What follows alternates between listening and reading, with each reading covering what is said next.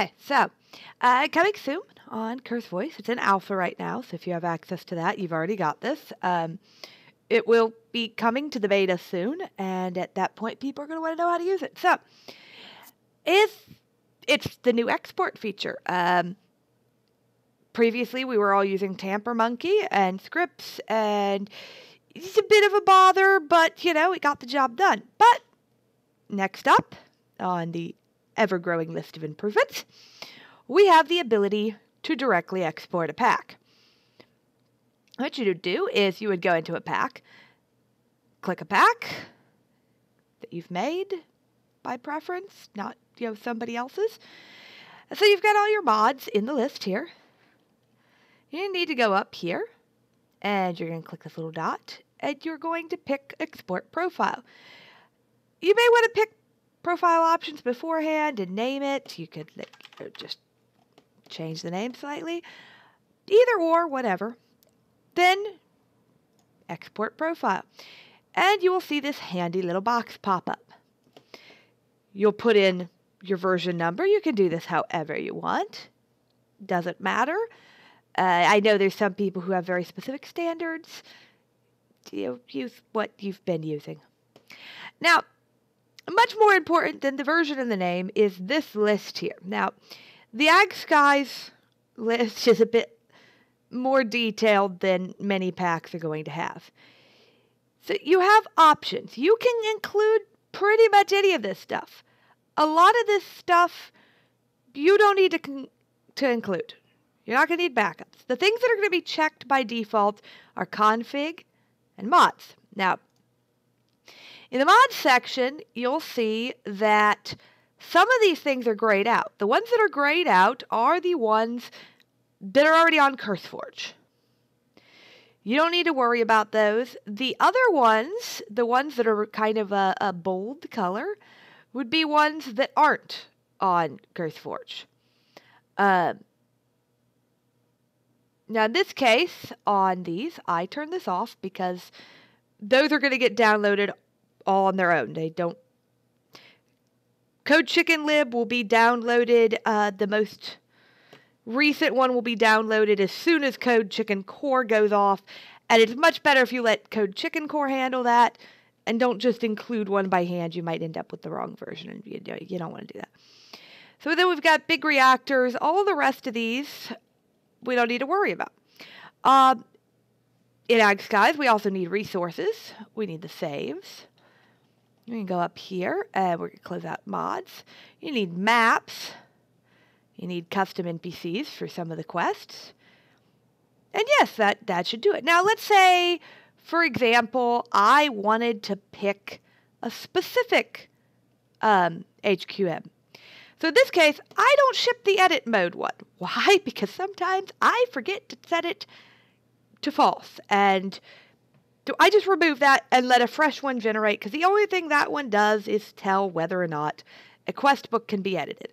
So if there's a config file, or let's say another one that's common is um, NEI integration, which is what shows like Ore dictionary, internal names, things like that. These are all dev tool configs. You're going to want your users to have regular configs, not pack dev configs. So you might as well just go ahead and turn off, you know, not include any configs that they don't need to have or that they should be getting the default version of as opposed to your dev version. So you can select that in here. You can you can choose which configs to include. Um, you can include which folders of these to, to include. In each of these sections, you can pick what you want. Now, you can even pick to include your keybinds and options if you really want to, and your servers file. If say you've got a um, server that goes with the pack. You could just click to include servers.dat, and when they load up the pack, they will automatically have the address for your server.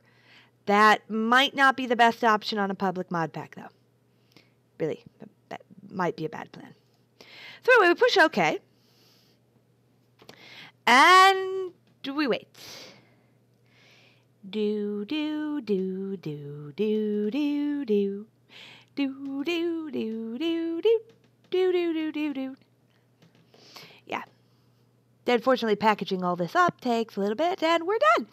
Now that I'm just going to put this on the desktop for ease, and you'll see it's already given the file name as being, uh, well, the name of the profile and the version number. We press save. It says, hi, I su- successfully exported. Yay! We press OK. So then, if we were to go here and we were to go to extract to folder, blah, blah, blah, blah, blah. Thank you. Now we have all of our lovely things. And one of the neat things that this thing does is it gives you this. This is an HTML thingy, majiggy. I'm sure there's a correct term for this. Anyway, what it is, is it's a list of the um, mods in here with links. So you can copy this right into the description of your mod pack. And if all of your mods come off CurseForge, voila, you have a list of where you, which mods are included, and people can click and go to them nice and easy, very simple. Of your manifest, which decided to go into my other window, so excuse me. Pull that back over here. Which is going to have your, your version number. It's going to have the Forge version that you're using. Um, your, the, the name of the profile. The version number of it. You're going to have the and then these are the project ID and file ID of all the mods that are included. Now, uh, for ease, we'll just we're just going to go here and we're going to go find false. Well, okay, so I don't have any of this. All right, so if you were to go through one of these and you were to swap it to false, it would be downloaded as disabled by default. We're going to show you that in a minute. In here, you have your overrides. This is everything that needs to go into the pack that wasn't on CurseForge. This includes mods. For example, Big Reactors is not currently on CurseForge, uh, but it is allowed to be shipped with packs. If you are shipping mods with packs that are not on CurseForge, you will need to have them double checked, and um, they may or may not be allowed. So make sure you check the list. There's a list here in the, the knowledge base that will tell you what mods have been approved. If they're not on that list, don't include them. The pack won't be approved. Um, here's the maps. This is all the, the, the maps that ship with uh, AgSkies. Here's the save files, which since I was playing earlier has a backup that I really shouldn't be including. And there's all your config folders.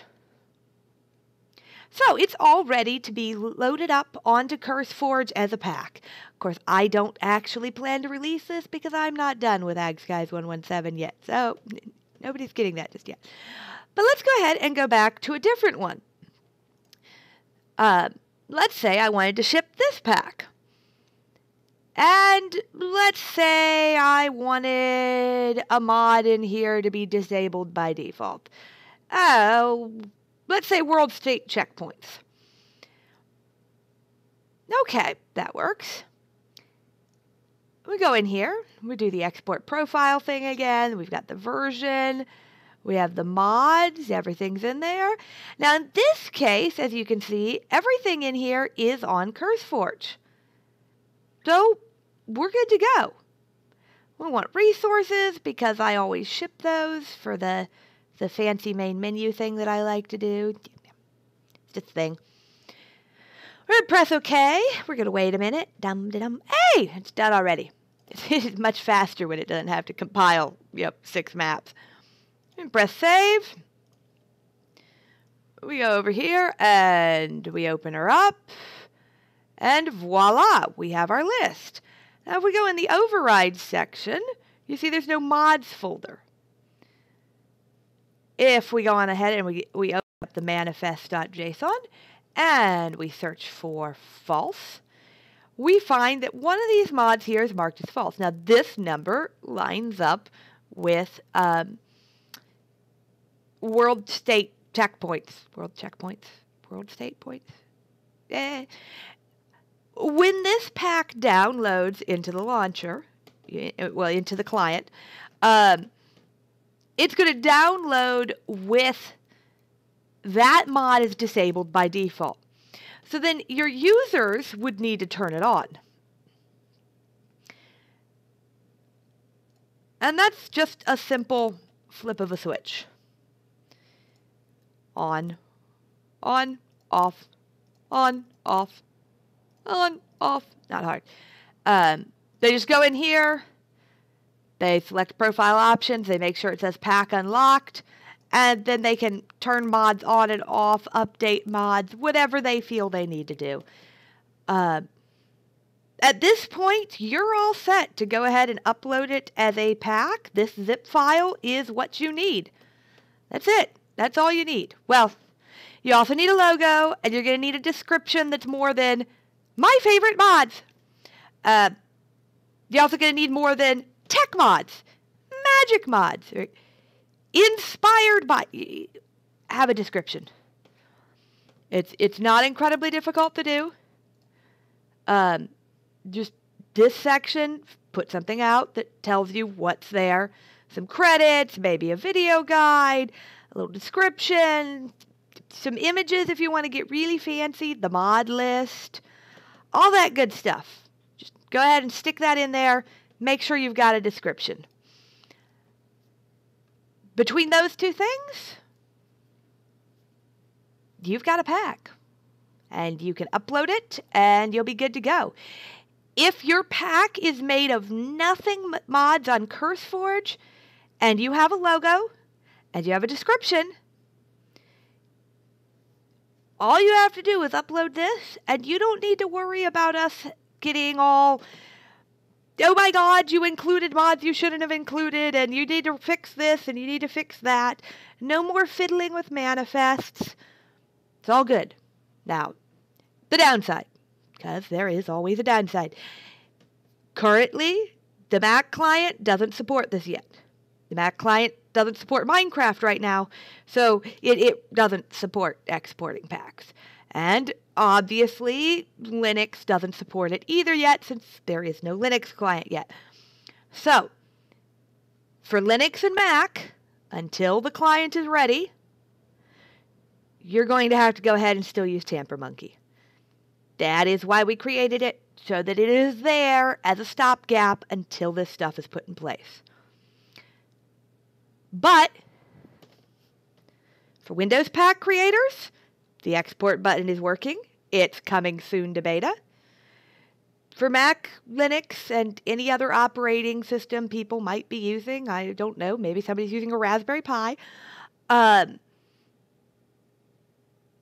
soon with that little TM thing behind it. You know, ish. It's not there yet. We'll get it there when we can. Uh, Mac will definitely be getting it once uh, the client is ready. I don't know when Linux will have access. I don't know. Sorry. But everybody else, if you're on the alpha, try it out. When it comes to beta, well, then everybody else will get to try it out. If you're a pack creator and you need alpha access, message me on IRC, Jaded Cat, and we'll see if it's possible. It may be, it may not be. No promises.